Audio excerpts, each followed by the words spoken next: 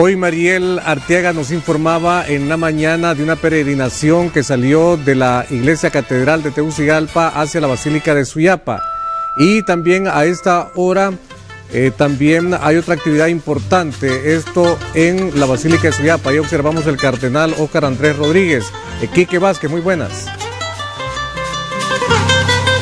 Gracias, abogado Pablo Gerardo Matamoros. Así es, y algo muy importante lo que se está desarrollando aquí, porque es el ordenamiento de diáconos. En total son tres de ellos. Uno eh, llamado como Wilson Canales, quien es de Orica.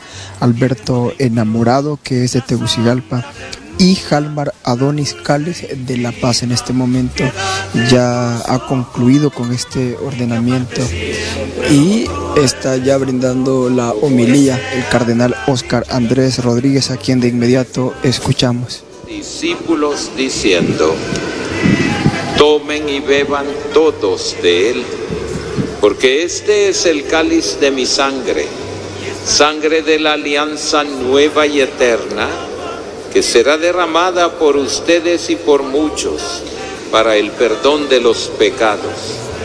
Hagan esto en conmemoración mía.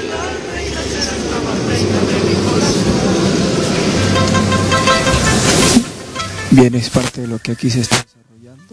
Eh, mencionar que hay cientos de personas que se han desplazado aquí a la Basílica de Suyapa a formar parte de este histórico momento para estas tres personas quienes están a esta hora eh, formando parte de esta actividad.